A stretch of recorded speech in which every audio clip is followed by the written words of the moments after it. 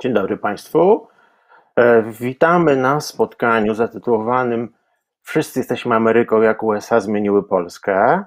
Ja nazywam się Bartosz Wójcik i dzisiaj mam przyjemność gościć Państwa. Spotykamy się wspólnie online z uwagi na sytuację pandemiczną, ale goszczę, bo tak się czuję dzisiaj gospodarzem, goszczę nas wszystkich dzięki e, Państwowemu Muzeum Etnograficznemu w Warszawie. E, muzeum oczywiście zaprasza na co dzień e, na, na ulicę kredytową, natomiast w tym momencie spotykamy się trochę tak rozrzuceni w różnych województwach, więc w pewien sposób jesteśmy zjednoczonymi, może nie Stanami, ale województwami. E, ja jestem w Lublinie, nasze gościnie i nasz gość są, jeśli się nie mylę, w okolicach Warszawy, Wrocławia i Szczecina. Więc ja będąc w Lublinie, no możemy, tak reprezentuję wschód, inne in, in, in, inne, powiedzmy, e, nie tyle województwa, ale inne regiony.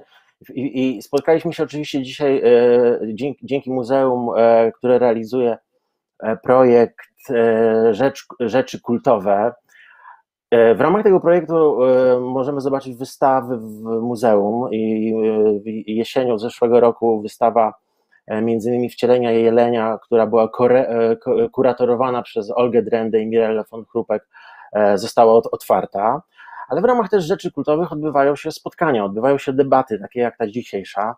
I naszą dzisiejszą rzeczą wieczorną, kultową, no, z jednej strony jest kraj, który można powiedzieć wzbudza taki niemal religijny ferwor, to znaczy Stany Zjednoczone, a, a, a z drugiej strony no też jest rzeczą, no jest republiką, oczywiście jest e, cała też taka debata, na ile to jest republika, na ile to jest demokracja, jeśli ktoś śledzi też to, co się dzieje od lat w Stanach Zjednoczonych w tej sferze politycznej, no to pewnie, pewnie też ma szereg, szereg, szereg argumentów, żeby, żeby i o tym porozmawiać, ale my się spotkaliśmy tutaj z osobami, które i hobbystycznie i zawodowo zajmują się Stanami Zjednoczonymi, i e, od lat nasłuchują, podglądają, e, czytają Stany Zjednoczone, dekodują i piszą. Piszą e, naukowo i popularno-naukowo. Ro, ro, ro, robią to od dawna i robią to tak sprawnie, że to jest ten moment, żeby je przedstawić, choć właściwie nie powinienem ich przedstawiać, bo jak ktokolwiek z Państwa czyta, czy przekrój, czy czyta dwutygodnik, czy czyta ich e, prozę, bądź poezję, bądź przekłady, no to zna Julię Fiedorczuk, którą dzisiaj witamy, e, zna e, Annę Szudek i zna Michał, Michała Radomiła Wiśniewskiego. Ja reprezentuję zbiorowy fandom, bo e, z każdym z Was chciałbym porozmawiać i o Stanach Zjednoczonych, ale też będzie moment, żeby wszyscy, którzy dzisiaj do nas dołączyli, mogli z Wami porozmawiać, to znaczy pozadawać pytania. Będę się starał dopilnować, żeby te pytania nam nie zaginęły. E, I oczywiście zgodnie z tym tytułem naszej rozmowy, czyli Wszyscy jesteśmy Ameryką, jak USA zmieniły Polskę, e, wydaje mi się, że mamy dwa problemy z tym tytułem, bo ja oczywiście chciałem to tak z jednej strony zobrazować, żeby podkreślić, że będziemy rozmawiać o wpływie, będziemy rozmawiać o tym, jak my, osoby mieszkające tutaj, e, pod tym wpływem jesteśmy, ale jednocześnie jest to tak z, z, zramowane, że jest pewne takie, no jednak przekłamanie. Bo trochę tak jest w niektórych językach, a trochę tak wydaje mi się, że jest też e, e, w tym, jak przez ten filtr w Polsce jest kraj, kraj zwany Stanami Zjednoczonymi widziany, że Amery, Amery, Ameryka, czyli Stany Zjednoczone właściwie, stały się taką synegdochą e, Ameryki, a nawet Ameryk, czyli e, nie za bardzo myśli się o e, południowym sąsiedzie, czyli o Meksyku, nie za bardzo myśli się o północnym, czyli o Kanadzie, mimo, mimo oczywistych dużych wpływów kulturowych, bo i Margaret Atwood, i Alice Munro, i Leonard Cohen i tak dalej, i tak dalej, a już w ogóle się zapomina o Ameryce Środkowej, czy centralnej, czy o Ameryce Południowej, czy, czy nazwijmy to, e, jak jeszcze niektórzy, prawda, używają tej nomenklatury łacińskiej. Ale my specjalnie będziemy głównie rozmawiać o, o Stanach Zjednoczonych i to jest to dla, dla, dla, dla nas Ameryka. Nie, musi, nie musicie się oczywiście z tym zgodzić, ale chciałbym od, od, te, od, tego, za, od tego zacząć, od amerykańskości. To może jest właśnie taki wytrych właściwie. Żeby to nie, nie było tylko geograficznie, żeby to nie tylko było tak państwowo. I pomyślałem o takiej właściwie autorefleksji, to znaczy o waszych pierwszych takich formatywnych doświadczeniach amerykańskości. No bo jednak tak się stało, że mimo, że macie szerokie zainteresowania, to cały czas Ameryka się e, pojawia i powraca i, i, i no, nie da się od niej uciec, nie da się przed nią obronić, na to, na to, na to, na to wygląda. I stąd właśnie wasze pier, pierwsze formatywne, indywidualne, one mogą być zapośredniczone, coś, co uważacie, że, że was no, trochę jednak zdeterminowało albo ukąsiło tą amerykańskością.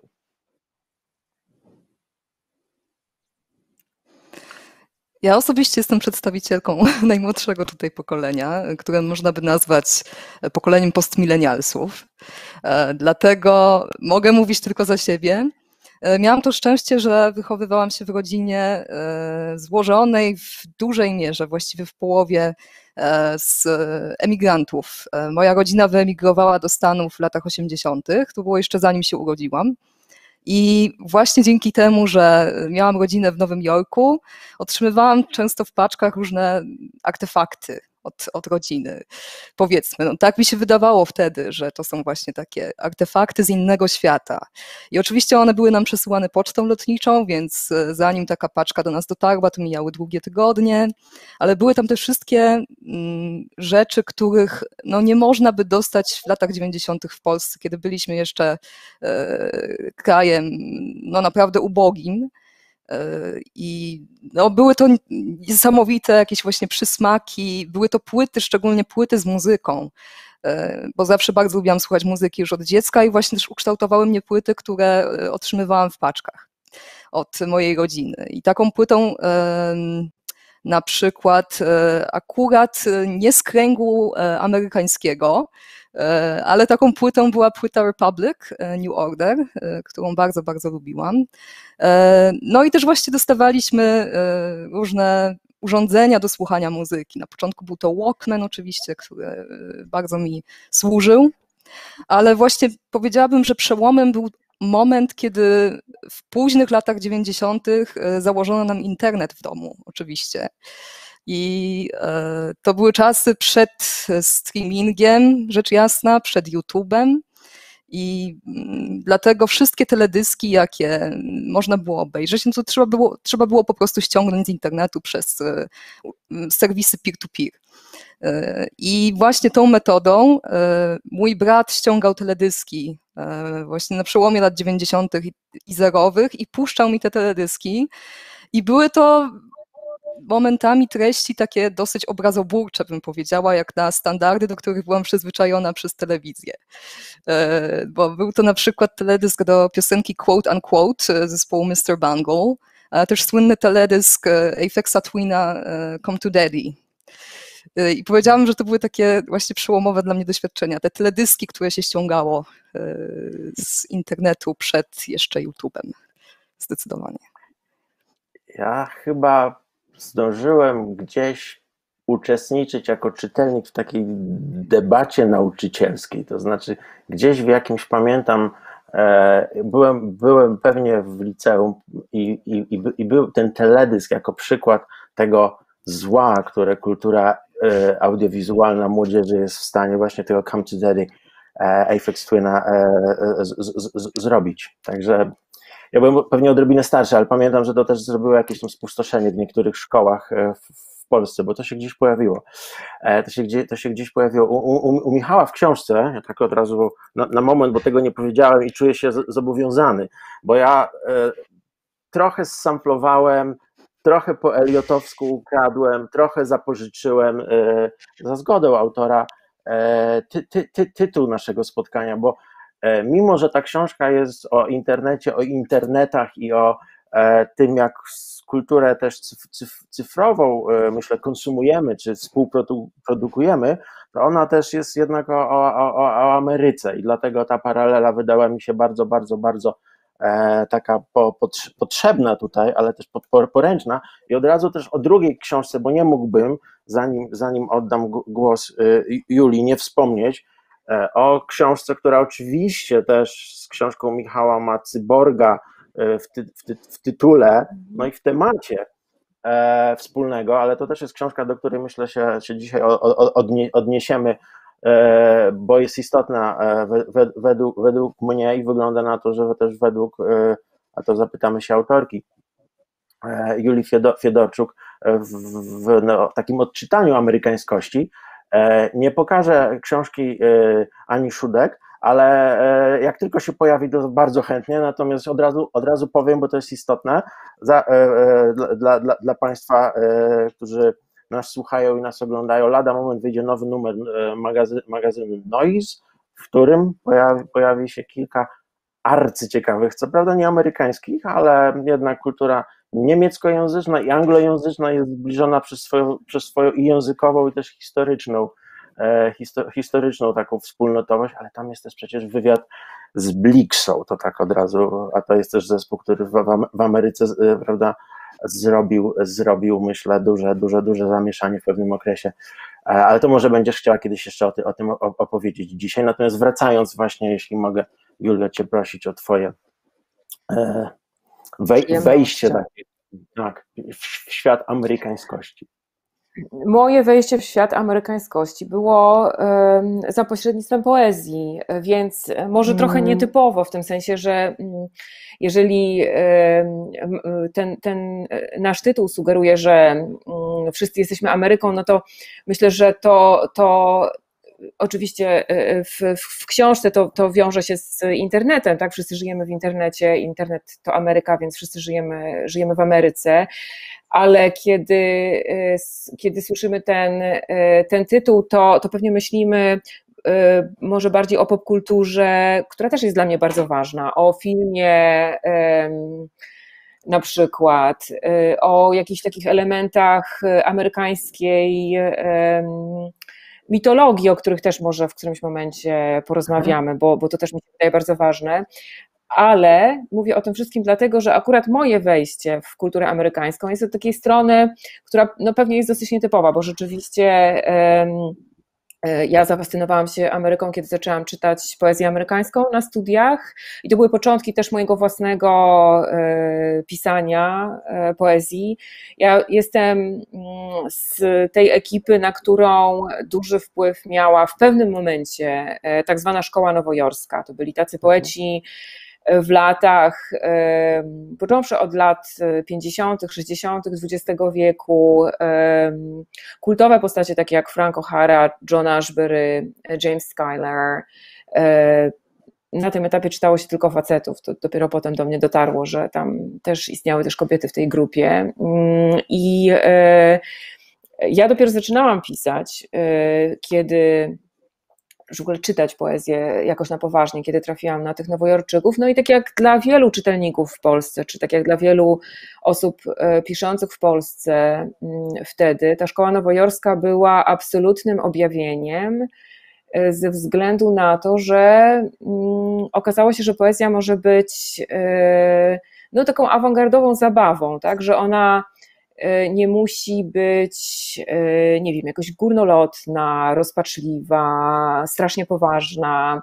W pewnym momencie odczytywało się u nas poezję mm, nowojorską jako ucieczka od polityczności. Ja teraz uważam, że to jest błędne odczytanie, że, to, mhm. że ta poezja też była zaangażowana, tylko tak czytało się w Polsce jako, jako właśnie apolityczną e, w, w kontraście do, do tego, co się działo u nas, bo polska poezja, wiadomo, zawsze zaangażowana w walkę, a to narodowo-wyzwoleńczą, a to w walkę z komunizmem i tak dalej, i tak dalej, więc ta, tak odbierało się wtedy tę szkołę nowojorską jako e, wolną od tych wszystkich obciążeń, które my tu mieliśmy w związku z Polską po prostu, tak, która jest właśnie tym naszym ciężarem e, i, e, I więc takie były, takie były moje początki. To, to, to potem, mm, potem, ta, e, potem ta, ta, to moje zainteresowanie e, się pogłębiło. Zaczęłam czytać wcześniejsze, wcześniejsze rzeczy. Modernizm amerykański jest, jest absolutnie wspaniałym takim okresem. To jest też moment, kiedy, kiedy centrum awangardy przenosi się z Paryża do Nowego Jorku. Ja po prostu lubię ten moment. Ten moment, kiedy, kiedy mm, Y, artyści działają też jakby transatlantycko, bo rzeczy dzieją się i w Nowym Jorku, i w Paryżu, i w Londynie. To jest bardzo, bardzo ciekawy. Uważam, że jeden z najciekawszych okresów w ogóle w, w literaturze i sztuce to są te poprzednie lata dwudzieste. Zobaczymy, co my stworzymy teraz w, w tych naszych latach dwudziestych. I, no i tak, mogłabym długo mówić o tym, czym dla mnie e, było potem odkrywanie, nie wiem, kontrkultury i poezji w kontekście kontrkultury. I później jak dojrzewałam już do rozumienia właśnie tej polityczności, która, która tam zawsze jest, e, jak do mnie docierało, że mm, super ciekawe rzeczy dzieją się na styku właśnie na przykład eksperymentu awangardowego i płci, albo e, awangardy i, i kwestii rasy, tak, i że może też to jest jakiś wątek, który rzucam na później, bo już chyba czas, żebym, żebym zamilkła. Bardzo ciekawy wątek jest dla mnie taki, że ta buntownicza Ameryka jest trochę nie tam, gdzie ją przeważnie widzimy w momencie, kiedy patrzymy na e, tą taką najbardziej u nas znaną popkulturę, y, kontrkulturę. To jest wątek, który ja bym chętnie kontynuował i myślę, że to wrócimy, bo to wydaje mi się, że naszą czwórkę po prostu połączy. E, mhm. Ale teraz posłuchajmy mi, mi, mi, Michała. On trochę o tych początkach, wydaje mi się, w, książ w, w, w książce cy cyborgicznej też, e, te, te, te, mhm. też, też pisze, ale to jest, e, myślę, bardzo zasadne, żeby po pierwsze sam powiedział, a po, a po drugie, żeby też, myślę, nas zaskoczył, bo przecież to jest pisarz, który od, od, od, od dawna nas zaskakuje i na pewno nie wszystko, nie wszystko napisał, co, co, co, co chciałby powiedzieć. To jest oczywiste. Y, myślę, że pierwszym takim amerykańskim snem, który śniłem, to były po prostu dolary. To był, to był moje mm. wejście w Amerykę prowadziło po prostu przez Pewex, tak? Pewex był taką oazą zagraniczności Zachodu, co było połączone oczywiście z, y, z popkulturą, czyli filmami, na których mieli można było oglądać szybkie samochody, pościgi policyjne. Ja się wtedy zresztą Ameryki bardzo bałem, bo w PRL-u w PRL-u Ameryką bardzo straszono. Był, był, na przykład pokazywany taki bardzo krytyczny dla Ameryki serial Washington za zamkniętymi drzwiami, Y, kiedy się dowiedziałem, że w ogóle istnieje coś takiego jak przemoc policyjna, że jeżeli się jest, jeżeli się jest na jakimś zgromadzeniu, to może przyjść policjant i człowieka pobić, nawet jak jest kobietą z dzieckiem. I mnie wtedy Ameryka bardzo przeraziła, a, a propaganda po prostu ówczesnego systemu broniła mnie dziecko od tej wiedzy, że w Polsce się dzieją e, również takie rzeczy. Mhm. I, ale to było właśnie, Ameryka wtedy była czymś takim fajnym, zakaca, y, kolorowym z telewizji, z Peweksu. Natomiast kiedy właśnie przyszła transformacja i, i pojawił się ten taki proto-internet, ja to nazywam, czyli telewizja satelitarna. Ja się zawsze, y, jeżeli ktoś mnie pyta, z jakiego jestem pokolenia, deklaruję jako pokolenie MTV, czyli to pokolenie, którym różni y, prawicowi czy konserwatywni publicyści zawsze straszyli, że tutaj te dzieciaki wychowani na teledyskach teraz mają sieczkę z mózgu. I faktycznie ja jestem tym rocznikiem, tym samym rocznikiem co BBC Butthead, czyli ten postrach, postrach wszystkich starszych ludzi, dwaj debile z serialu z MTV. Ja się z nimi, ja się z nimi po prostu wychowałem na amerykańskich suburbiach. Dlatego dla mnie Ameryka to po prostu są suburbia w których spędziłem całe, całe życie e, świadome. Najpierw to były suburbia z cudownych lat, czyli mimo, że ja sobie fizycznie mieszkałem na blokowisku w P, już w tej Nowej Polsce, czy w PRL-u, czy w Nowej Polsce, to nagle się znalazłem e, na amerykańskich suburbiach i o, o, tym, jak być nastolatkiem, o tym, co to są pryszcze, nauczyły mnie właśnie amerykańskie dzieciaki mieszkające na suburbiach. E, potem były BBC Butthead na suburbiach, potem były no te suburbia ciągle się tam przewijały. Philip K. Dick, czyli pisarz amerykański science fiction, ale to nie było takie zwykłe science fiction, to było, to było science fiction, które bardzo dużo mówiło o tej Ameryce, o której jakby się tak na głos u nas nigdy nie mówiło.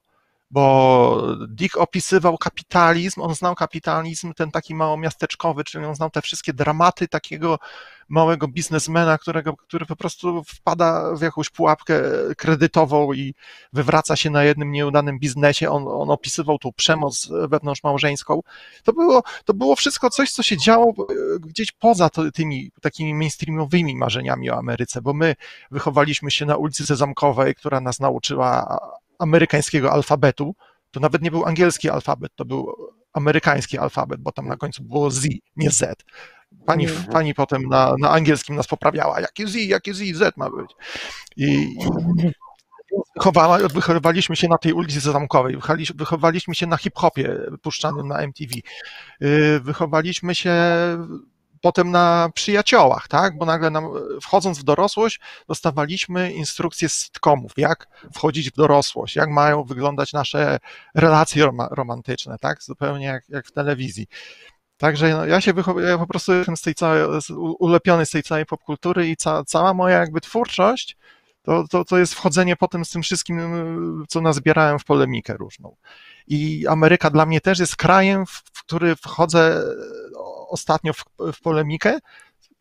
Ja zresztą mhm. od tej Ameryki uciekłem właśnie do Japonii, że, ta, że tak w połowie lat 90. poczułem to znużenie, bo ta kolonizacja, którą my, my doświadczyliśmy wtedy, bo to była praktycznie kolonizacja Teraz mi taka właśnie myśl przyszła do głowy, że, że jak wspomniałeś na początku o tym, czy my mówiąc o Ameryce myślimy o USA, a nie myślimy mhm. o tej reszcie Ameryk. Przecież y, przed 89, kiedy nie, nie, władze nie lubiły za mocno tego USA, żeby się panoszyło, prawda?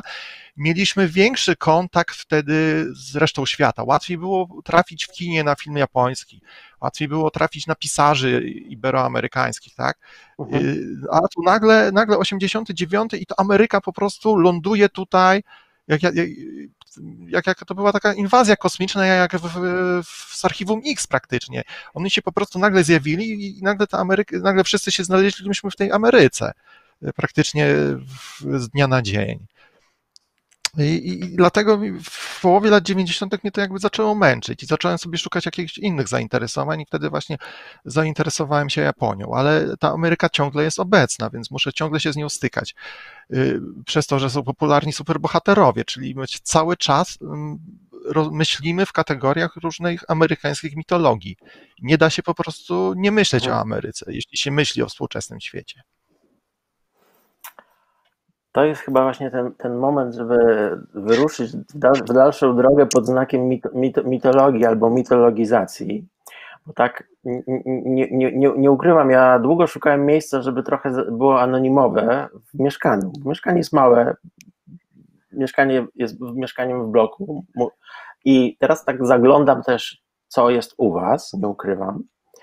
I to jest wszystko a propos mitologizacji. Dlaczego? Bo u Ani widzę Davida Bowiego, który jest dla mnie takim, wiecie, troszeczkę mm, e, Eliotem, to znaczy taki i brytyjski, i amerykański, to, zna, to znaczy, to, to tak jak David Bowie ma, ma, ma, ma, ma oczywiście sytuacja jest odwrotna, od, odwrotna, natomiast chcę powiedzieć, że, że to, są, to, są, to, są, to są dwaj twórcy, którzy e, zmieniali oczywiście swoją to, tożsamo, tożsamość, ale połączyli, no, e, nawet jeżeli to było przez negację, jak chociażby momentami u Eliota, e, no, ale jest ten David Bowie ze swoją mitologią. U, u ciebie, Julio, jeśli, jeśli tak mogę, bo zerkam, widzę Truposza, Jarmusza e, i to jest jednocześnie Neil Younga e, Truposz, bo tam jest przecież świetna e, amerykańska te, muzyka e, tego kanadyjskiego twórcy, który zresztą też świetnie w mitologię amerykańską.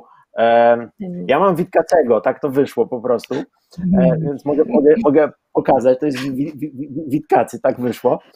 E, e, I, i, i ten, ten Neil, Neil Young jest nadal przecież bardzo istotny i to, jak on do mainstreamu w pewnym momencie wprowadził wątki rdzennej populacji amerykańskiej, czy, czy chociażby, chociażby zatrudniając, zapraszając do zespołu basisty, który, który, mm. który właśnie reprezentował jedną z, z jedną z, grup, z grup e, rdzennych mieszkańców e, Ameryki, żeby już użyć tego określenia.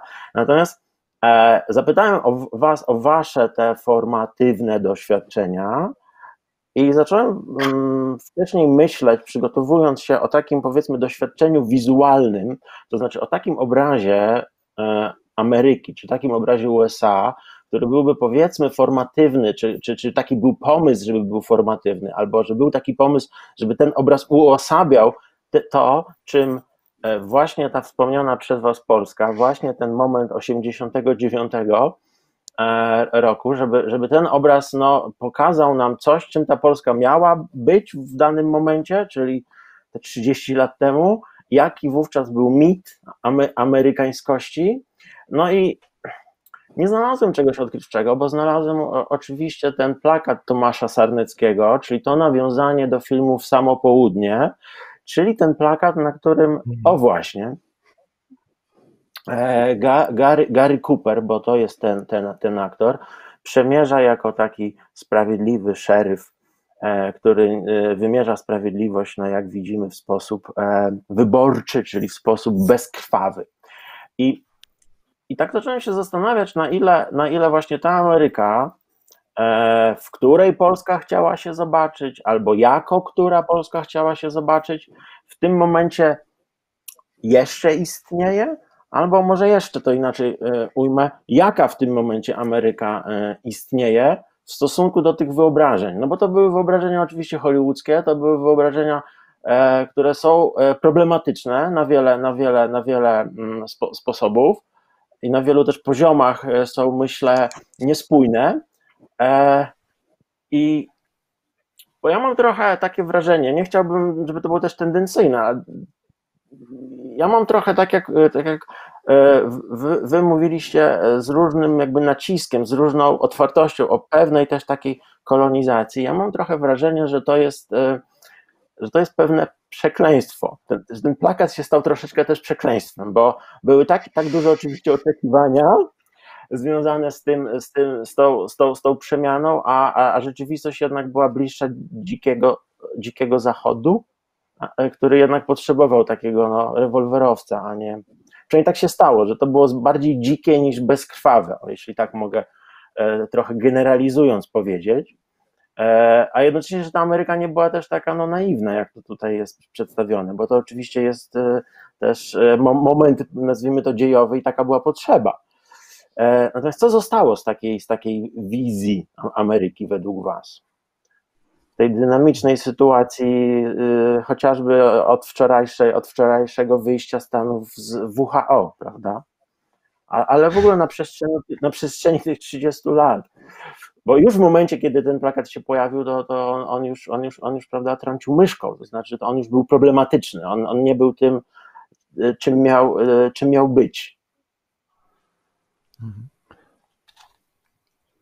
W ogóle jak robiłeś tą inspekcję wnętrz, to zauważyłem, że mam na półce książkę Wojciecha Ornickiego Ameryka nie istnieje. Czyli zapis mhm. takiej jego, jego podróży, takim śladem, tropem popkulturowym, ale też historycznym. Mhm. I może od tego powinniśmy zacząć, że Ameryka nie istnieje, że, że nie ma w ogóle jednej Ameryki, że, że mamy jakąś Amerykę, która jest tym Disneylandem, który tak nam się podoba, ale tą, tą Amerykę, którą my poznaliśmy, która tak najbardziej jakby się odcisnęła, to była konkretna Ameryka Ronalda Reagana, wydaje mi się. I ta cała narracja właśnie po roku 89 była oparta na tej wizji Ameryki. Wszystkie jakieś, i to do dzisiaj jest mocno widoczne, my ciągle jesteśmy, jakby, jak, jak to powiedziałeś, w tym, pod but, powiem, pod butem tego kowboja trochę jesteśmy, że tak powiem, bo ja to widzę w, w, takich zwykłych sporach ideologicznych, kiedy na przykład rozmawiamy, czy służba zdrowia powinna być prywatna i wszyscy wtedy mówią, no pewnie, przecież w Ameryce to się dobrze sprawdza, tak?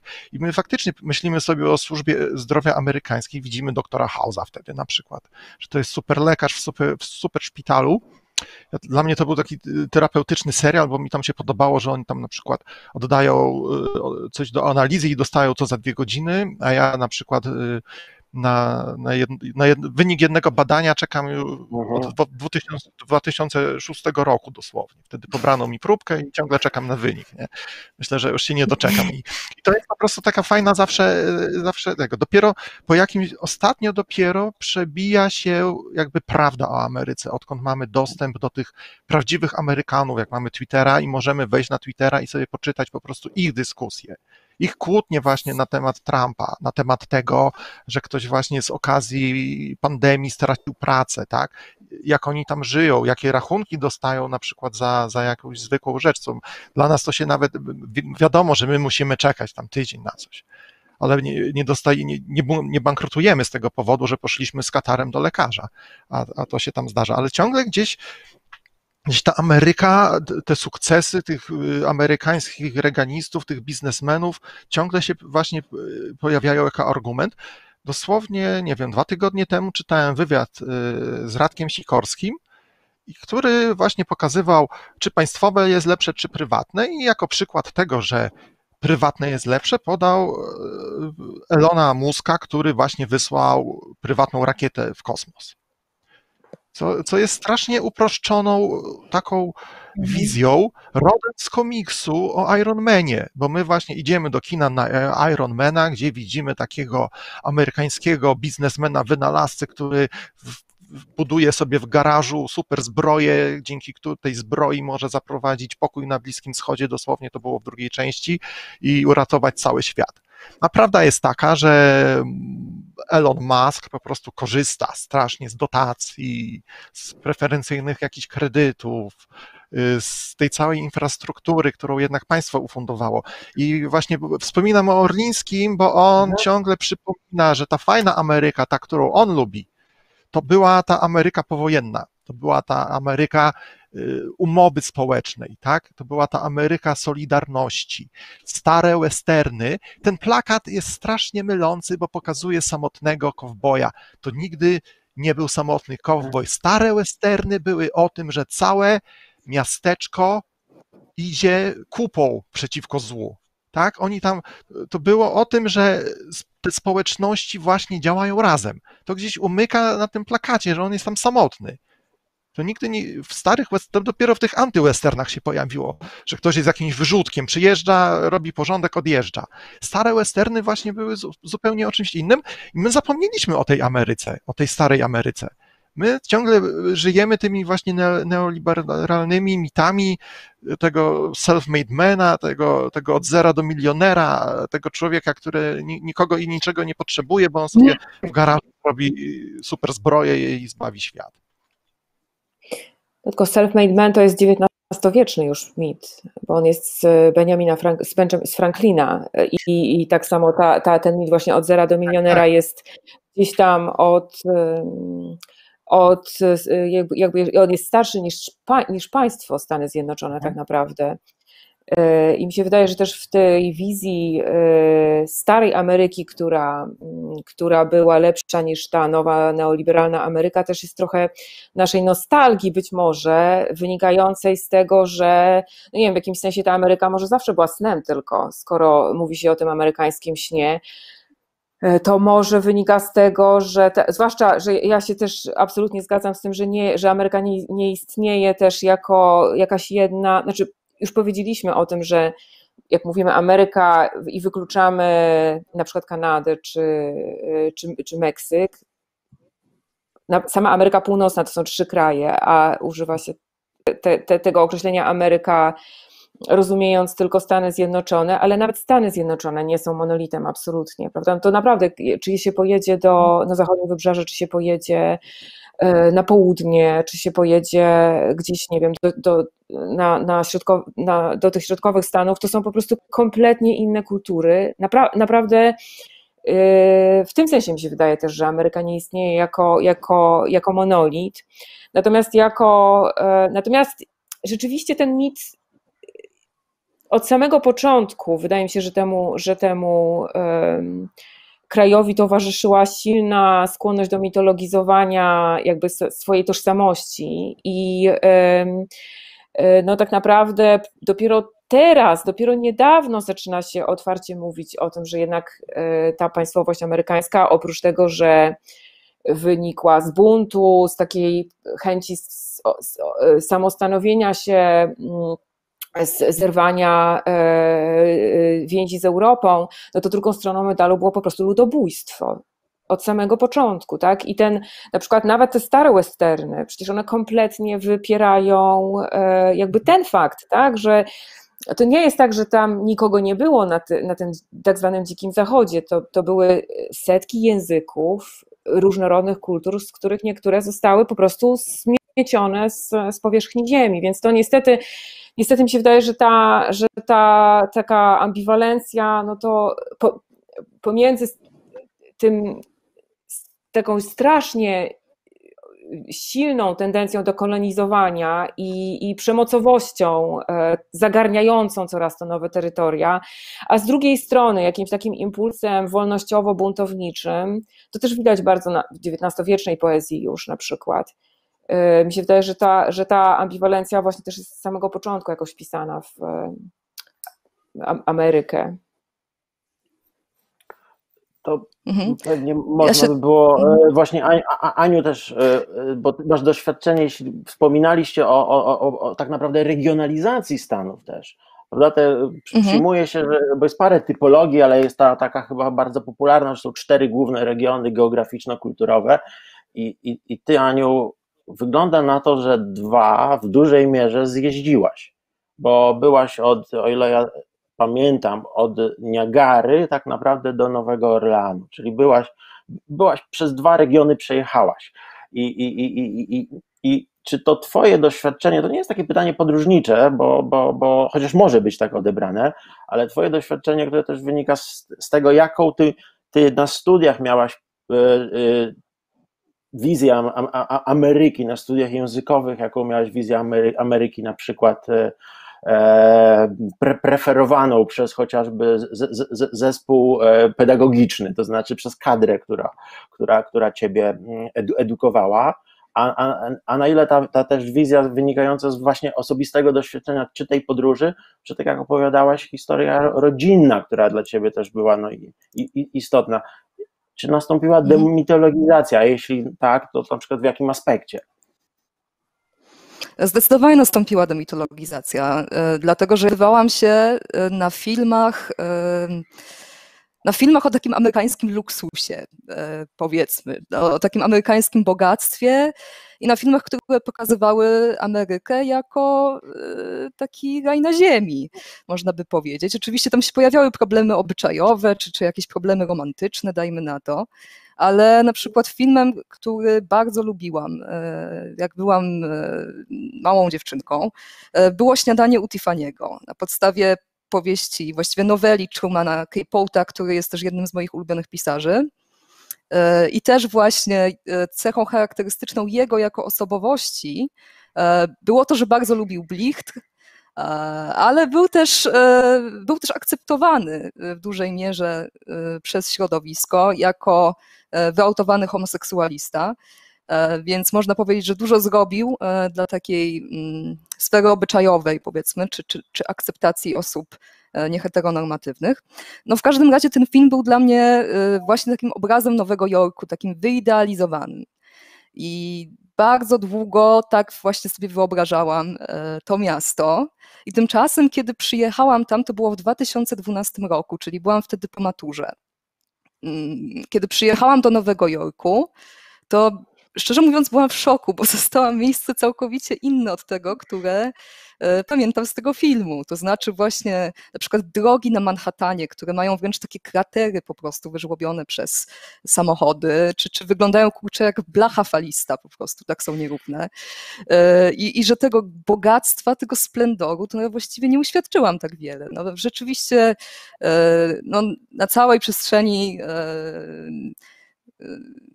no, tego dolnego Manhattanu, można powiedzieć. No, widzi się te wieżowce, te drapacze chmur, e, te wszystkie oznaki e, wielkiego światowego biznesu. Ale właśnie jak się spojrzy na przykład na infrastrukturę, czy, czy, czy właśnie takie bardziej powszednie sprawy, no to, to nie, nie prezentuje się tak najlepiej. Więc to był taki właśnie pierwszy szok poznawczy dla mnie. A później właśnie zaznałam mm, takich kolejnych zaskoczeń, kiedy już przyszło mi zobaczyć kolejne miejsca w Stanach, ponieważ podczas tej podróży byłam właśnie w e, Niagara Falls, czyli e, w tej miejscowości, która graniczy z Kanadą, gdzie jest położony wodospad Niagara która jest w zasadzie małą mieściną, tak naprawdę tam, są, tam jest motel, tam jest kasyno, no i jest tam wodospad, prawda, który stanowi wielką atrakcję turystyczną. I właściwie upstate New York nie ma wiele wspólnego z Nowym Jorkiem. W sensie Nowy Jork jako stan nie ma wiele wspólnego z miastem. To też było dla mnie takie zaskakujące, że właśnie stan Nowy Jork wydał mi się momentami taki po pierwsze bardzo prowincjonalne, a po drugie były tam miejsca, które wydały mi się podupadłe po prostu. E, nie takie jak, e, jak właśnie samo miasto Nowy Jork. E, później byłam w, poza Nowym Jorkiem właśnie, jeszcze byłam na krótko w Atlancie, ale niewiele zobaczyłam. Bardzo żałuję, dlatego że dzisiaj na przykład wydaje mi się to miasto bardzo, bardzo ciekawe i mhm. właśnie związane ze sceną muzyczną Stanów Zjednoczonych też bardzo silnie ze sceną afroamerykańską konkretnie. Ale właśnie bardzo dobrze wspominam e, podróż do Nowego Orleanu, który był dla mnie e, wówczas e, doświadczeniem, czy, czy miejscem egzotycznym całkowicie. Bo właśnie to jest takie miejsce, Nowy Orlean, które istnieje na przecięciu wielu kultur. kultur. Czyli są tam wpływy francuskie, zdecydowanie, są tam wpływy afroamerykańskie, są tam oczywiście biali Amerykanie, ale oni stanowią zdecydowaną mniejszość. Natomiast większość mieszkańców e, Nowego Orleanu to, e, to właśnie Afroamerykanie. E, I to, co mnie urzekło absolutnie w tym mieście, poza jego wielokulturowością, którą się widziało na każdym kroku, była właśnie ta kontrkultura, o której wcześniej wspominaliśmy. I to, że ona jest bardzo dobrze mm, zespojona właśnie z całym krajobrazem miasta, czy, czy z wizerunkiem miasta, jaki to właśnie miasto promuje. I takim obrazem, który zapamiętam na długo, było to, jak wybraliśmy się y, w, właśnie z moją kuzynką i jej znajomymi e, na taką e, cemetery tour. E, po prostu w bardzo upalny dzień, koło południa, było ponad 40 stopni chyba wtedy, no więc ledwie to znieśliśmy. Ale byliśmy między innymi na grobie takiej okultystki, która zajmowała się głównie E, praktykowała voodoo, e, nazywała się Marie Laveau e, i żyła w XIX wieku i miała właśnie bardzo mieszane pochodzenie, bo była po części Indi Indianką, była po części Afroamerykanką i po części miała też korzenie francuskie, więc no, była taką reprezentantką właśnie wielokulturowości tego miejsca, a też jednocześnie taką całkowitą indywidualnością.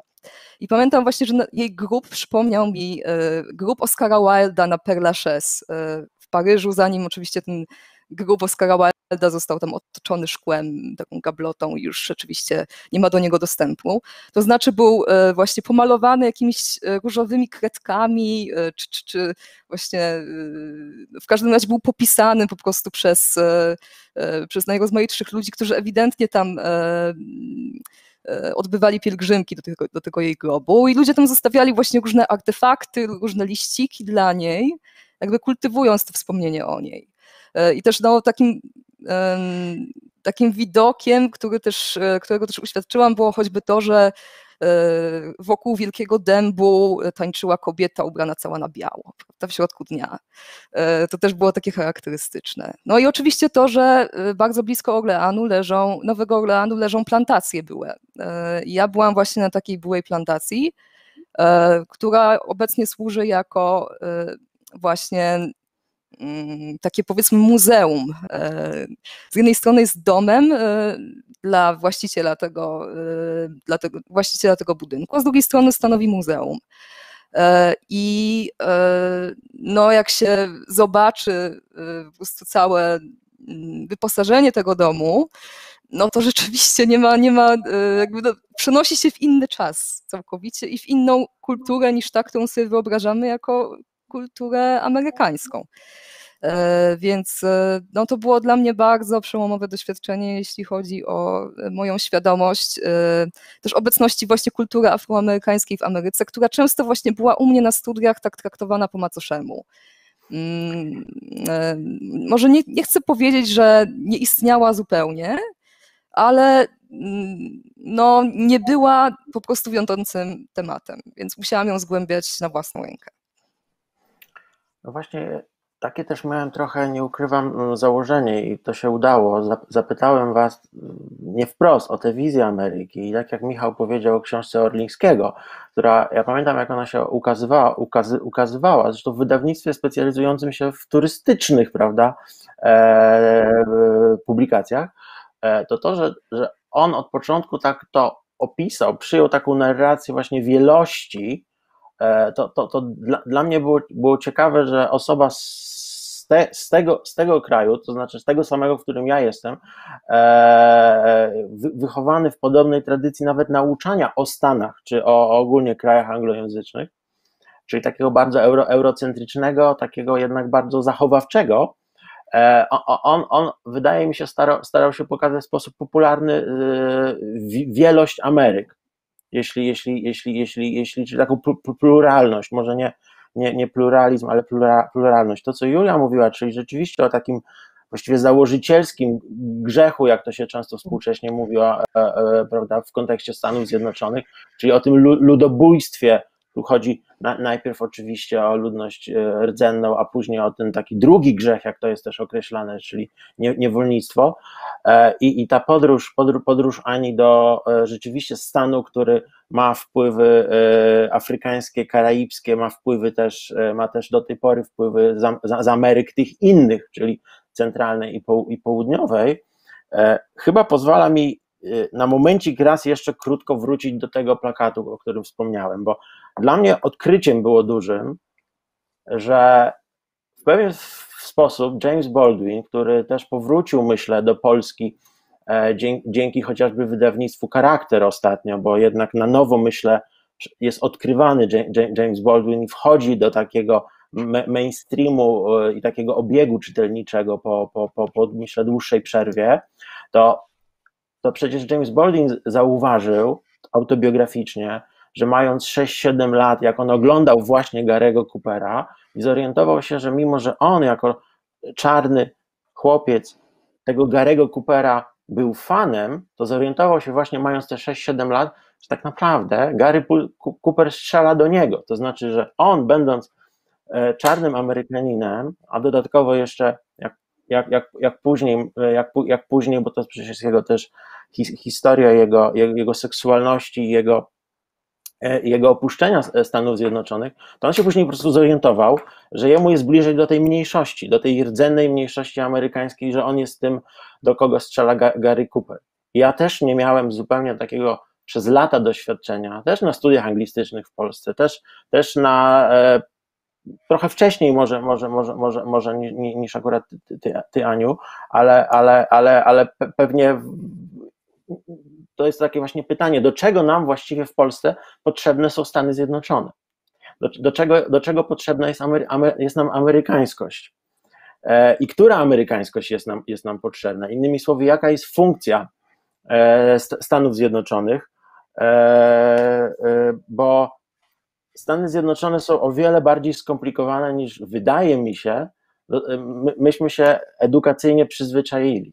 Oczywiście ostatnie, ostatnie miesiące nam to dobitnie wszystkim pokazały, ale, ale przed e, pandemią, przed zabójstwem George'a Floyda, non-stop były takie sygnały, one nie były aż tak globalne, one nie skutkowały aż takimi zmianami e, nie, nie tylko w krajach anglojęzycznych, ale nie anglojęzycznych, no bo przecież ca, ca, cały obecny taki oddolny bunt, e, który pomaga narrację historyczną e, doprecyzować, zmienić, dookreślić, e, czy to w sposób fizyczny, e, czy, czy, czyli sytuacja, która też przecież w Polsce się, się zdarzyła, związana z, tak, z, pomnikami, czyli ze sferą symboliczną, ale jednak fizyczną, ale też w ogóle rozmowa, która, która się w tym momencie toczy, dotycząca języka, w tym języka polskiego.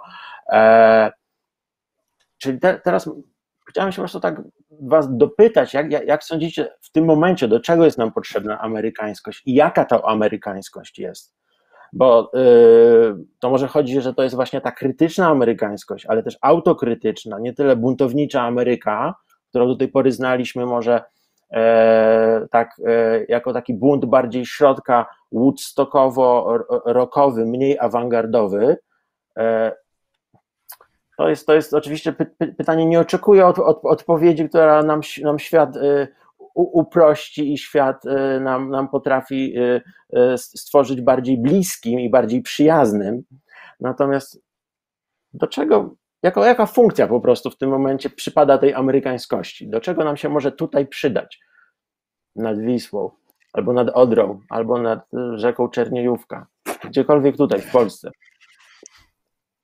E, jeżeli mogę zacząć, wydaje mi się, że e, poznając e, prawdziwą historię Ameryki, ucząc się o Ameryce, dowiadujemy się też czegoś o sobie, to znaczy o Polsce, bo wydaje mi się, że jest wiele punktów wspólnych już między naszymi krajami na takim poziomie etnicznym. No, znaczy nie, nie, nie, chodzi mi o to, że jesteśmy tacy sami etnicznie, prawda, ale chodzi mi o to, że etnicznie i Polska i Stany są taką zbitką wielu, wielu narodowości, wielu kultur. Więc tak jak mówiliśmy, że Ameryka nie istnieje, tak samo moglibyśmy nieco prowokacyjnie powiedzieć, e, że Polska nie istnieje, bo zawsze istniała na przecięciu kultur. I, i to właściwie już od wieków, prawda, kiedy e, na przykład o, i o naszej kulturze, i o, naszym, o kształcie naszego społeczeństwa decydowała głównie społeczność żydowska, i to od stuleci. E, ale też no, myślę, że gdybyśmy zapytali w naszych rodzinach o nasz rodowód, powiedzmy, no to każdy by e, odnalazł w swojej rodzinie e, wpływy wielu innych narodowości, czy, czy po prostu jakiś procent narodowości niepolskiej. Więc to jest taki, taki ciekawy tak naprawdę punkt do refleksji, że możemy się nauczyć o, o sobie bardzo wiele właśnie patrząc na Amerykę i w pewnym sensie też Polska jest odbiciem Ameryki w takim sensie, mm, że właśnie pomimo tej różnorodności e, też bardzo pragnie e, zachować taką narodową tożsamość, czyli właściwie stworzyć ją, czyli ją wykreować e, i, i jakoś zachować w takiej niezmienionej postaci, co oczywiście no, jest bezcelowe, czy też jest po prostu niemożliwe do, do osiągnięcia. Więc wydaje mi się, że właśnie patrząc na losy ludności amerykańskiej, do której zaliczyłabym i, e, i Amerykanów z Europy, i zaliczyłabym tutaj Afroamerykanów, i rodowitych Amerykanów, i także wszystkie inne narodowości, bo teraz przecież mniejszość hiszpańskojęzyczna jest coraz większa właśnie w Stanach i, i język hiszpański Najwię, staje się... Największa jest, prawda? Jeśli przepraszam, no to ona jest chyba największa w tym momencie. e, grupą... E, mhm. Mhm. E, w każdym razie widać, że ten język hiszpański staje się coraz bardziej powszechny, prawda? Jeżeli na przykład Aleksandria Ocasio-Cortez pisze post na Facebooku, to pisze je w dwóch językach, mhm. czyli po angielsku i po hiszpańsku. I e, właśnie patrząc na tę wielokulturowość i na to, jak płonne są te wszystkie wysiłki e, w Ameryce, żeby tę wielokulturowość stłumić, moglibyśmy się nauczyć też tego, żeby nie powtarzać tych błędów e, tutaj, tutaj w Polsce. Myślę, że w takim kierunku powinna podążać amerykańskość dzisiaj u nas. To jest dla mnie taka pozytywna rzecz, którą nam dała Ameryka, to, to jest Netflix. Nie, nie rozumiany jako taki, taki totalitarny pro, program telewizyjny, który po prostu opowiada o całym świecie, ale jako takie źródło progresywnych różnych wartości, bo Ameryka mhm. odrobiła wiele lekcji, które są przed nami. To już y, dzisiaj na przykład jest taki me, taka popularna opinia w internecie, że ten serial Przyjaciele, o którym wcześniej wspomniałem, bo z lat 90., że milenialsi oglądają przyjaciół i są załamani, jak to w latach 90. było strasznie. Ale kiedy ja go oglądałem w latach 90. w Polsce, która, która, było, która jest dzisiaj konserwatywnym krajem i wtedy była jeszcze bardziej konserwatywnym krajem, to tam było bardzo dużo pokazanych pozytywnych, obyczajowo rzeczy, y, o których nawet nie miałem pojęcia. Tam, był pokazano, tam było przecież pokazana para kobiet homoseksualnych, które nawet, nawet weszła w jakiś związek małżeński. I, i, i, I, ta kultura taka liberalna, która właśnie do młodzieży trafia przed Netflixa, widać to, widać to że, że z, z, zmienia Polaków właśnie w trochę takich bardziej obywateli świata. Ale z drugiej strony Ameryka robi jednak też taką wygodną wymówkę, jakby nie wiem, no, dlaczego, dlaczego cały czas mnie zastanawia, dlaczego Polacy nie śnią na przykład szwedzkiego snu, dlaczego nie patrzymy na Szwecję. Jako socjaldemokratę mnie to po prostu zastanawia. Dlaczego nie chcemy być jak Szwedzi, prawda?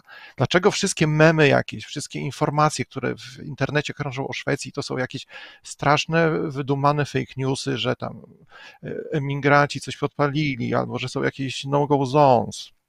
I sobie pomyślałem, że to jest coś dla Szwecji już nie ma, tak? Ja, to jest coś, że Szwecja upadnie, to po prostu od ćwierć wieku dosłownie słyszę. Chyba pierwszy raz ten właśnie y, w 95 chyba usłyszałem, że Szwecja to już praktycznie upadła, nie ma, nie ma, nie ma co płakać w ogóle.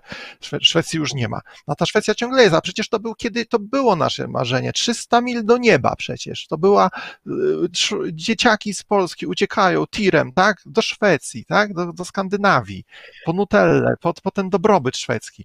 Co się z tym stało? I sobie nagle e, myślę, że ta Szwecja by nas uwierała strasznie. Gdybyśmy myśleli sobie cały dzień, dlaczego nie jesteśmy jak Szwecja, to by, by było straszne uczucie.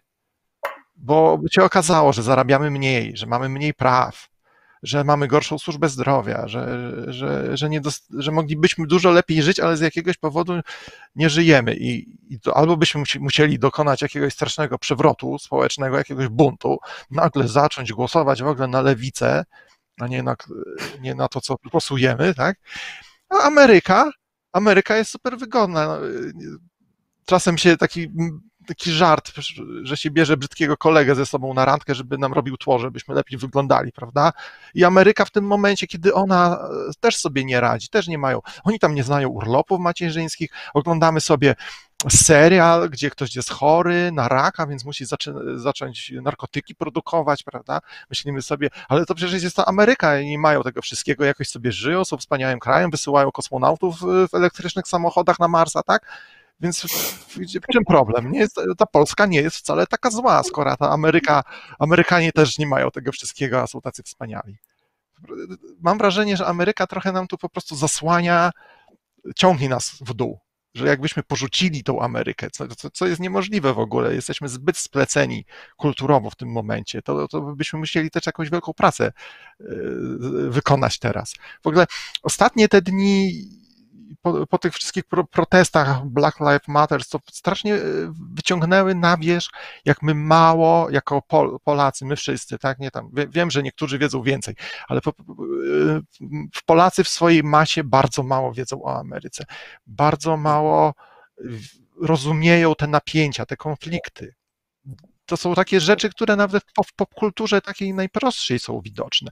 To są rzeczy typu, dlaczego w Terminatorze 2 zły robot z przyszłości ma, ma na sobie mundur policyjny. Dlaczego on jest przebrany za policjanta? Się okazuje, że, że to było zamierzone, że, że James Cameron, który to nakręcił, chciał w ten sposób nawiązać do tej przemocy amerykańskiej. Chciał pokazać, że amerykańska policja jest zmilitaryzowana i zachowuje się po prostu jak takie mordercze cyborgi. I to, i to jest coś, co, co w ogóle nam przelatywało, jakby.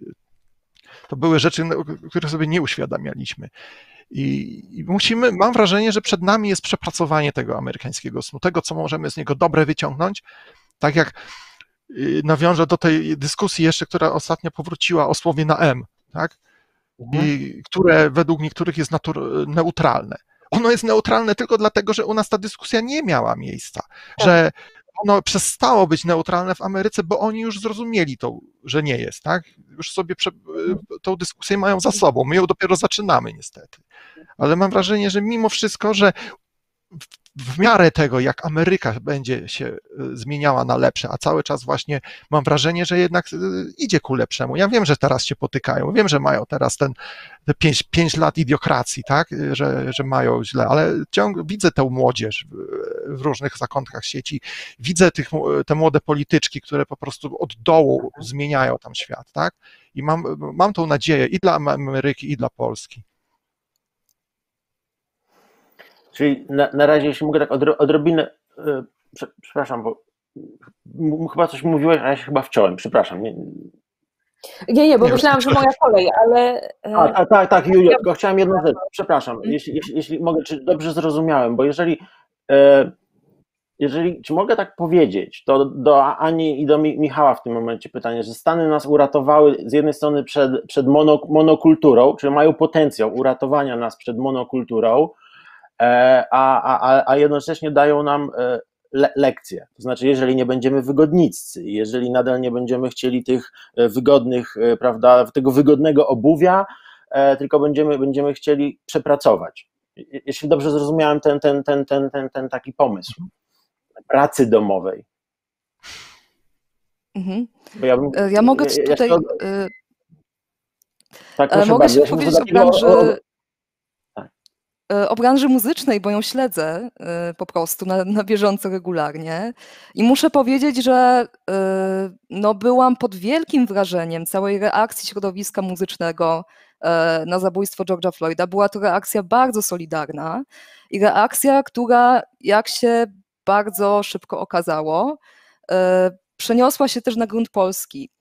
E, I tutaj chodzi mi nie tylko o to, że e, na Instagramie ludzie wrzucali po prostu czarne zdjęcia zamiast na przykład zdjęć samych siebie, ale też chodzi mi o to, że artyści, którzy, polscy artyści, którzy mają konta w serwisie Bandcamp, czyli na platformie, która jest chyba teraz najpowszechniejszą taką platformą dystrybucji muzyki, E, niezależnej szczególnie.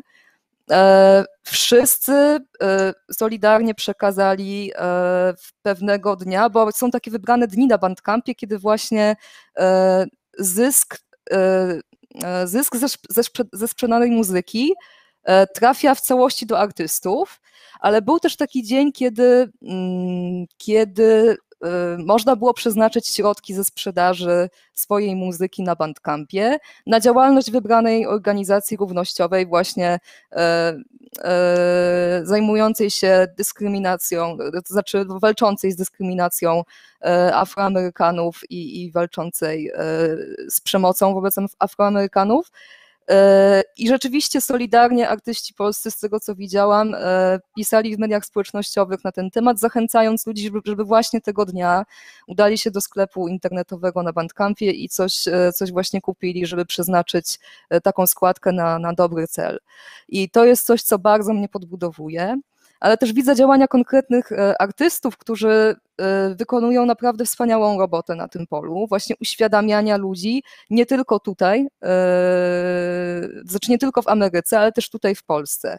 I taką postacią na przykład, która robi wiele dobrego teraz jest Tom Morello, znany z zespołu Rage Against the Machine. I no, o ile to jest zespół, który no, swoje lata popularności największej przeżywał w no, właściwie już e, trzy dekady temu, w połowie lat 90., e, no to e, dzisiaj właśnie zajmuje się głównie kwestiami rasowymi na swoim profilu społecznościowym i bardzo, bardzo zdecydowanie pisze na ten temat.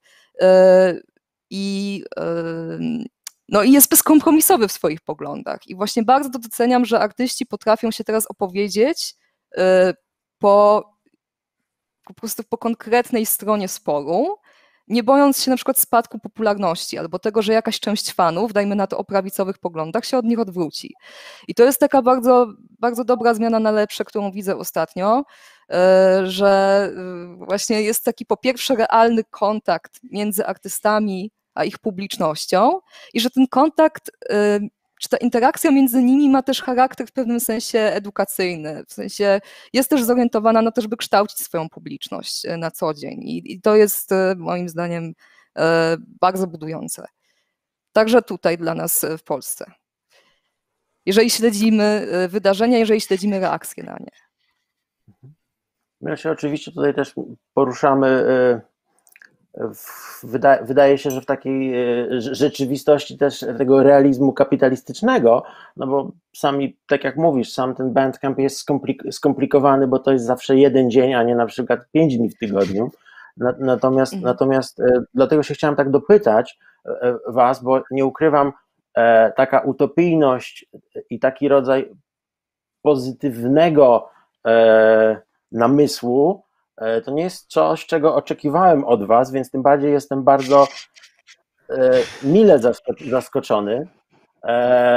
Ciekawe, jak też na to Julia patrzy z perspektywy, która jest też mocno krytyczna, czasami w takim znaczeniu konstruktywnym, no bo ona jest autorefleksyjna, krytyczna, mówię o ekokrytyce też, ale też jest, też daje pewne narzędzia nie wiem, czy, czy, czy myślisz, że jest możliwość użycia właśnie takiego onarzędziowania ekokrytycznego, żeby inaczej zobaczyć Amerykę i w Ameryce inaczej siebie e, e, obejrzeć, bo no przecież sporo takich e, rozwiązań społecznych czy infrastrukturalnych ze Stanów i niektórzy tutaj, tak jak Michał wspominał, chcieliby wdrożyć, a jednocześnie takie spojrzenie właśnie na sprawy kryzysu klimatycznego, czy tej apokalipsy, która, e, która na, na, na, nadciąga, e, trochę jest w mainstreamie i mówię o reprezentantów, o reprezentantach pewnego pokolenia jednak zbliżone do takiego też mainstreamu amerykańskiego w znaczeniu bardziej konserwatywnym. Cała nadzieja oczywiście w młodym pokoleniu i w, i w tym spojrzeniu E, które, które e, nie jest tylko spojrzeniem z nad komputera, ale jest, jest spojrzeniem też wyjścia na ulicę i, i, i też takiej działalności organicznej, e, od, oddolnej. Natomiast jak ty ze swojej perspektywy patrzysz właśnie na Amerykę, na amerykańskość, też z użyciem ekokrytycznego spojrzenia? E, ojejku, dużo bardzo rzeczy tutaj się pojawiło. Chociażby jeden, jeden, jeden, jeden wątek, coś uważasz, że, że poruszamy ma się na bardzo dużym poziomie mhm, Poruszamy się na bardzo dużym poziomie ogólności, e, też chciałabym powiedzieć. I wiesz, amerykańskość to tak jak już powiedzieliśmy sobie wcześniej, właściwie nie ma czegoś takiego jak, jak, jak amerykańskość. To jest jakaś fikcja, fikcja, którą też skonsolidowało oczywiście Hollywood, o czym, o czym też mówiliśmy. Fikcja, która skolonizowała jakoś e, e, fantazję e, no, krajów takich jak Polska, które, które aspirowały do, przez, przez długi czas do, do większej wolności i do, i do większego dobrobytu. Ja bym jednak w kategoriach e, kolonializmu o tym, o tym mówiła. E, kolonializm gospodarczy oczywiście e, jest jakimś podłożem tego. Bardzo się zgadzam z tym, co powiedział Michał, że jakby skoro już jest ten mm, kolonializm, bo on jest faktem, jesteśmy skolonizowani rzeczywiście przez popkulturę amerykańską, no to super w tym to, że ten kolonializm przemyca właśnie te wartości mm, związane na przykład z, z równością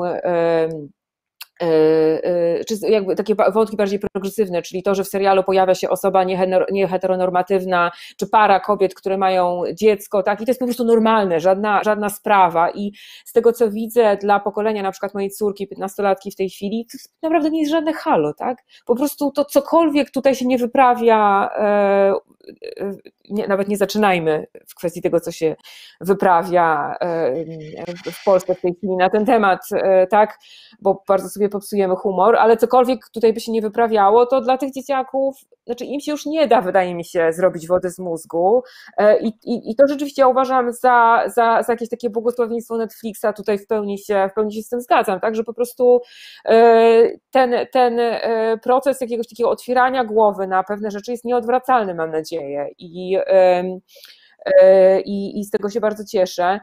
Natomiast, natomiast ja może jestem mniej optymistyczna, bo myślę, myślę o Stanach Zjednoczonych jako o kraju, który zbudował swoją potęgę na trupach w jakimś sensie i, i który jakby i te trup, te, i ta, i ta, ta, to zabójstwo to jest też zabójstwo właśnie w stosunku do pozaludzkiej przyrody, bo jednak Stany są jednym z największych trucicieli na świecie. I, yy, i torpedują porozumienia klimatyczne i yy, bardzo mocno naciskają na kontynuację takiej gospodarki energetycznej, która niszczy klimat, tak? Cała kultura samochodowa jest, jest ze Stanów. To Wydaje mi się, że Olga Gitkiewicz w książce swojej pod tytułem Nie zdążę, która jest o dojeżdżaniu do pracy, mówi o czymś, o takim momencie ciekawym, kiedy został zniszczony w Stanach transport publiczny. Właśnie po to, żeby mm, y, branża samochodowa mogła się rozwijać, tak? Czyli jakby jakieś, jakieś lobby producentów samochodów miało czynny udział w niszczeniu tej e, e, czegoś takiego, co w Europie jest dużo bardziej rozwinięte i w tym sensie właśnie e, e, ten, ten, ten moment, kiedy mm, jedziemy do Nowego Jorku i jesteśmy trochę w szoku, kiedy widzimy, jak to wygląda, bo widzieliśmy europejskie miasta, które są wygodniejsze, lepiej skomunikowane i tak dalej, i tak dalej, no to też jest, też jest jakiś tam element tego, ale, e, ale jeżeli chodzi o świadomość ekologiczną i działania na rzecz klimatu w ogóle i ochrony, czy ratowania, ratowania systemów podtrzymujących życie na Ziemi, to E, to Ameryka jest daleko za, za Europą e, i znaczy w sensie Stany Zjednoczone są daleko za Europą, Stany Zjednoczone są daleko, wydaje mi się, na przykład za takim krajem jak Meksyk, które mają e, które mają nie, tuż obok i gdzie wydaje mi się, że dużo bardzo jest też takich oddolnych inicjatyw ekologicznych i Okej, okay, to nie, nie, nie będę teraz próbowała tłumaczyć, dlaczego wydaje mi się, że, że, że tak jest, ale, ale widzę tu naprawdę duży, duży kłopot i y, y, w Stanach powszechnie nie segreguje się śmieci, tak? I ta, ta pojedyncze miasta, takie jak y, no, w Kalifornii, czy nie jestem pewna, czy Nowy Jork wprowadził w końcu zakaz e, jednorazowych e, opakowań plastikowych. Kiedy ja byłam ostatnio w Nowy, ostatni raz w Nowym Jorku, to wieczorne wyjścia były po prostu dla mnie szokujące ze względu na to, że hałdy śmieci, które wyrastały na ulicach codziennie, yy, no to było coś niewiarygodnego, naprawdę trudnego do, do przeprocesowania. Śmieci w torbach oczywiście, tak, do zabrania, do mhm. wywiezienia, do usunięcia ich poza pole naszego widzenia, ale e, ponieważ mi się wydaje, że kwestia katastrofy klimatycznej jest najpilniejszą kwestią e, w tej chwili, jaka, jaka jest, to łączy się absolutnie z, z rasizmem, z kolonializmem, ponieważ wszystkie te kwestie, mm, wszystkie te rodzaje przemocy y, tak naprawdę mm, historycznie rzecz biorąc, y, pracowały w ramach jednego układu sił. Dlatego nie da się mówić oddzielnie o rasizmie i o klimacie na przykład, bo to są, to jest, to są dwa aspekty jednego i tego samego problemu. Yy, ale biorąc pod uwagę, że to jest największy problem, jaki mamy, no to jestem mocno zatroskana tutaj. I oczywiście geopolityka w tej chwili się przesuwa, yy, yy, układy sił globalnie zmieniają się, nie mamy pewności, co się z tego wyłoni. Natomiast o ile na pewno mam taką swoją Amerykę, którą, którą, do której jestem bardzo przywiązana, którą bardzo cenię i, i której się uczę i którą, i którą poznaję, no to to jeżeli chodzi o, o ten konsumpcyjny mainstream, no to jest on dla mnie przerażający jednoznacznie. Czyli jednak e, trochę się podzieliliśmy, bo wygląda na to, że mnie jest bliżej do Julii, e, to znaczy ten mniejszy mam optymizm niż, niż z kolei wa, wa, wasza dwójka, ale, ale, ale bo, bo ja akurat miałem taką, taką, taki przywilej w tym semestrze, że miałem zajęcia ze studentkami i ze studentami, znaczy one oczywiście były zdalne, ale z właśnie takiej amerykańskości, takie zajęcia realioznawcze. I ja w pewnym momencie po, po, po, powiedziałem, że no Ameryka za długo była e, takim dość typowym, e, toksycznym mężczyzną i to wzbudziło duże zainteresowanie i też duże, duże takie kłopoty, bym powiedział, po, po, poznawcze dla, dla paru osób, w tym chyba też trochę dla mnie. E, natomiast, natomiast e, to jest takie moje chyba w tym momencie spojrzenie na, na Amerykę. Nałożył mi się na pewno też e, obecny, obecny zwierzchnik sił zbrojnych Stanów Zjednoczonych też na ten obraz. Tak myślę ale mamy też e, trochę głosów e, od e, naszej publiczności i chętnie bym się z Wami podzielił, bo to są pytania do Was. Jest też takie pytanie i zacznę od, od, od, od pytania, które nawiązuje do tych 300 trochę mil, mil do nieba, który, który to film a propos jest do obejrzenia w jednym oczywiście z serwisów streamingowych amerykańskich w Polsce. I pytanie jest następujące. Czy Szwedzi marzą o Ameryce?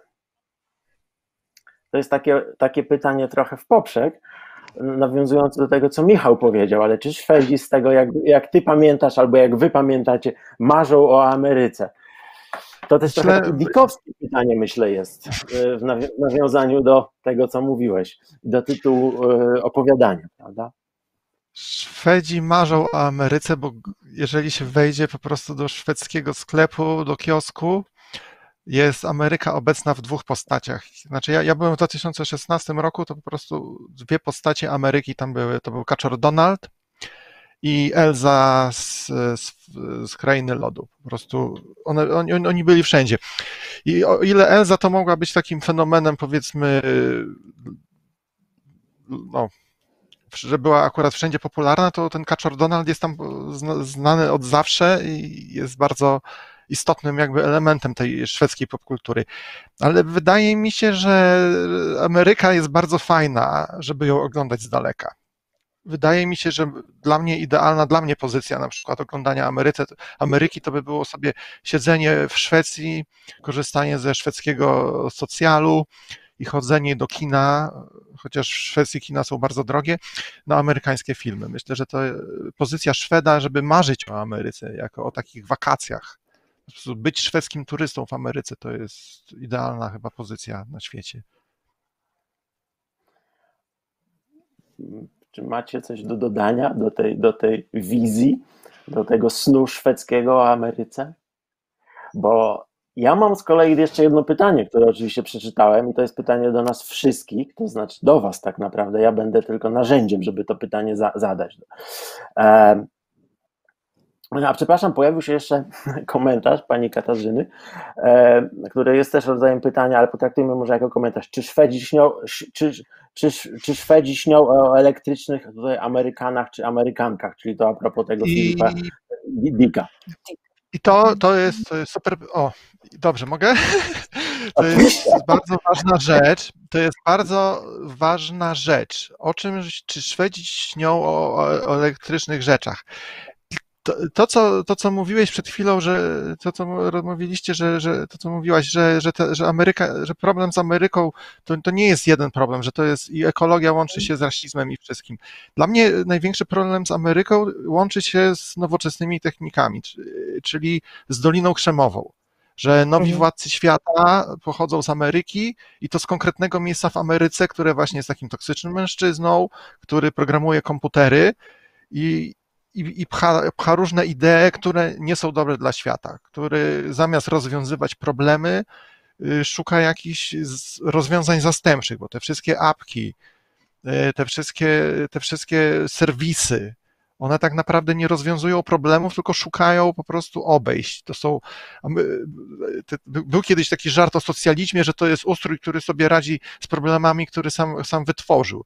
I mam wrażenie, że Ameryka trochę zajmuje teraz pozycję takiego Związku Radzieckiego, że to był Związek Radziecki to był kraj, który potrafił wysłać człowieka w kosmos, ale nie potrafił zapewnić godnego bytu obywatelom. I Ameryka też może wysłać teraz tego, ten elektryczny samochód y, z kosmonautami na Marsa, ale nie potrafi zapewnić podstawowych rzeczy czystej wody, tak?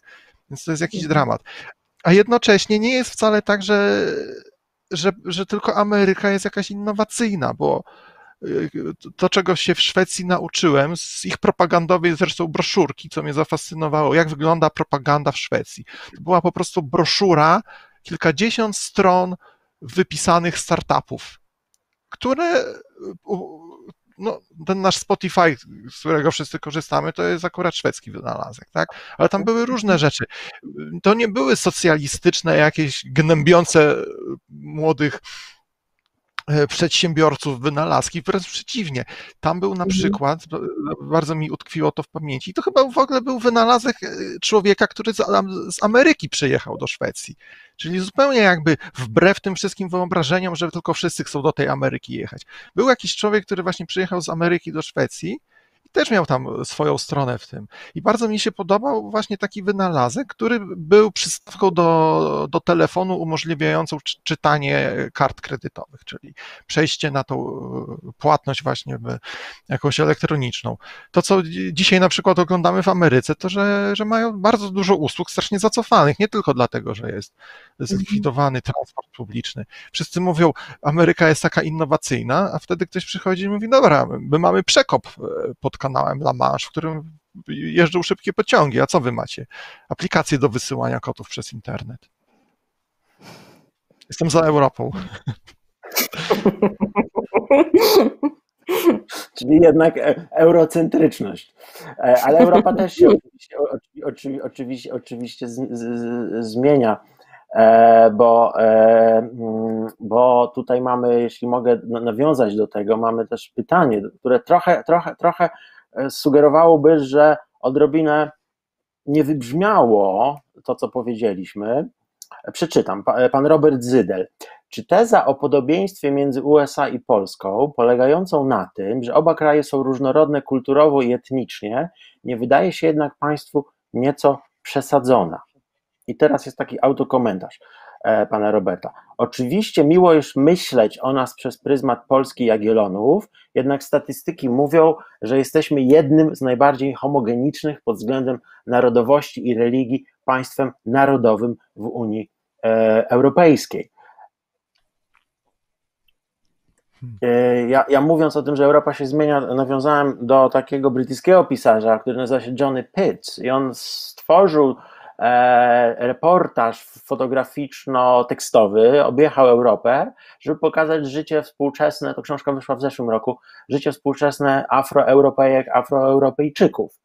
I tam oczywiście wątek amerykański też się pojawia, no bo to jest punkt też od, od, odniesienia chociażby dla konstytuowania własnej tożsamości właśnie literackiej, że się okazuje, że w tych krajach, na przykład y, y, w krajach, nie wiem, frankofońskich, w krajach e, in, innych języków, ale krajach, które mają kolonialną przeszłość, e, bardzo długo te kraje nie miały swojej literatury e, z oczywistych powodów pisanych przez osoby, nie, przez osoby niebiałe, więc mieszkające tam osoby niebiałe korzystały z doświadczenia właśnie afroamerykańskiego, literackiego, czy filmowego, czy muzycznego, e, żeby no, siebie trochę dookreślić. E, ale chyba nie wydaje mi się, że my powiedzieliśmy, że, że, że, że nie zaznaczyliśmy, że, że, że, no, że Polska jest jednak bardziej monokulturowa i że tutaj mamy dużo do dopracowania, przepracowania i no, wykonania roboty.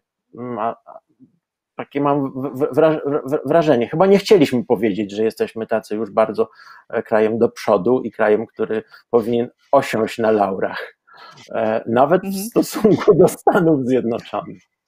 Ale też po prostu jak się popatrzy na, jak po prostu jak się popatrzy na przekrój społeczny, jakby na przekrój, nie wiem, etniczny, tak, no to jest rzeczywiście e, Polska bardziej homogeniczna niż Stany Zjednoczone, chociaż to się na szczęście zmienia, bo jeszcze parę lat temu, e, jak ludzie przyjeżdżali do Warszawy, e, no na przykład ze Stanów, no to szokujące było to, że wszyscy są biali tutaj, a, ale teraz już tak, teraz już w Warszawie na przykład tak nie jest, bo, bo, bo jest coraz więcej ludzi na przykład z Indii, czy z, mm, z nie wiem, z Wietnamu, tak, osoby czarnoskóre też spotyka się, słyszy się różne języki w Warszawie. Teraz się słyszy ukraiński, białoruski, rosyjski często, więc też pod tym względem to się, to się zmienia.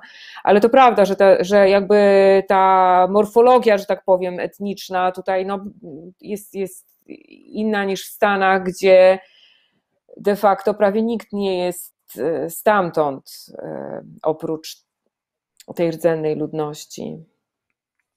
Natomiast y, ten argument chyba dotyczył tego, że, że e, mm, tutaj, jak ja rozumiem, że ta, ta paralela do, do, dotyczy tego, że, e, że jest właśnie ta no, że pojawia się podobny rodzaj nacjonalizmu, tak? Na przykład w tym momencie, e, kiedy, kiedy są takie, a nie inne rządy i że, i że ta lekcja polegałaby właśnie na odrzuceniu pokusy nacjonalizmu, a e, uczeniu się od tego, co jest, e, co, co, co Stany wypracowały w tym, na tym drugim froncie, tak? czyli, czyli tam, gdzie e, walczy się o, o równouprawnienie dla osób reprezentujących inne etniczności niż biała, czy inne mhm. seksualności niż, niż heteroseksualna. Ja tak przed chwilą jeszcze dodam, bo tak Okay. Przepraszam. Tak, jeszcze. E, to znaczy, chciałam się tylko odnieść jeszcze do tego pytania, może jako jego. E, no, jako ta osoba, która postawiła taką tezę w pierwszej kolejności. I e, chciałam tylko powiedzieć, że kwestia tego, czy Polska jest bardziej homogeniczna niż Stany? Oczywiście, że tak. Tutaj właśnie dziękuję Julii, że zwróciła uwagę na to, że po pierwsze miałam na myśli pewien taki paradoks E, polegający na e, zderzeniu e, tej tożsamości narodowej, którą się w tym momencie bardzo tak publicznie, w sferze publicznej wytwarza, czy się podkreśla, a z drugiej strony to, że jednak jesteśmy krajem w środku Europy, który przeszedł cały szereg przemian społecznych. Które sprowokowała w dużej mierze historia ale też to, co Julia powiedziała o morfologii e, naszego mhm. pochodzenia jest dosyć istotne. E, to znaczy, e, bardzo trudno jest określić statystycznie, czy jesteśmy społeczeństwem do końca homogenicznym. Ja bym powiedziała, że nie mhm. jest to możliwe, dlatego że każdy w, swoim, w swoich genach odnajdzie pierwiastek jakiejś innej kultury, jakiegoś innego obszaru kulturowego czy etnicznego.